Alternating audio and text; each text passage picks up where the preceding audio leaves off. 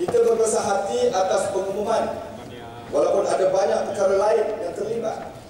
Tetapi khusus kepada skim rumah pertama Cagamas disebut bahawa mana-mana rakyat Malaysia yang berpendapatan 300 RM3,000 ke bawah boleh memiliki rumah berharga RM220,000 dengan cagaran 10% cagamas dan 9% daripada bank institusi kewangan. Makna mudahnya beli rumah tak perlu bayar apa-apa pendahuluan.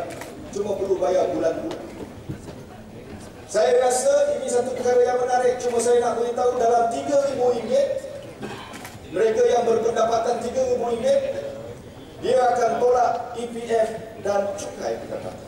Tinggal RM2,700 tolak lagi beli kereta tinggallah RM2,100 tolak lagi.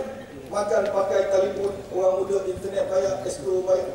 Tinggal RM1,600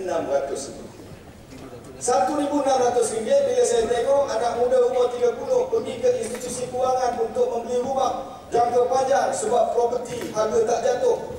Kira-kira satu rumah satu bulan kena bayar RM1,500 maka tinggal gaji bulan itu RM100 tak apa anak muda yang ingin menyertai skim ini kena ubah gaya hidup anggaplah pelaburan RM1,500 sebulan untuk memiliki rumah sebagai pelaburan dan tidak merugikan. Terima kasih banyak Datuk Seri Presiden.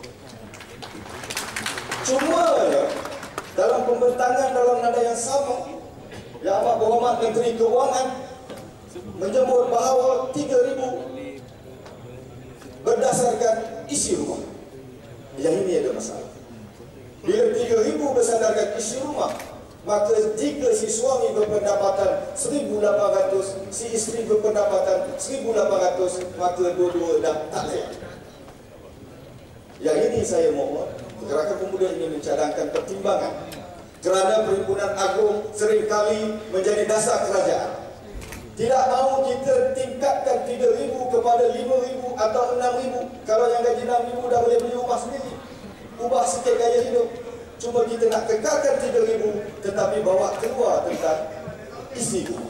Biarlah mana-mana anak muda yang berpendapatan yang rumah pertama dengan gaji 3,000 dikatakan layak untuk menyertai skim rumah pertama itu supaya yang terkesan itu lebih ramai dan mereka akan berterima kasih kerana anak muda diberi perhatian.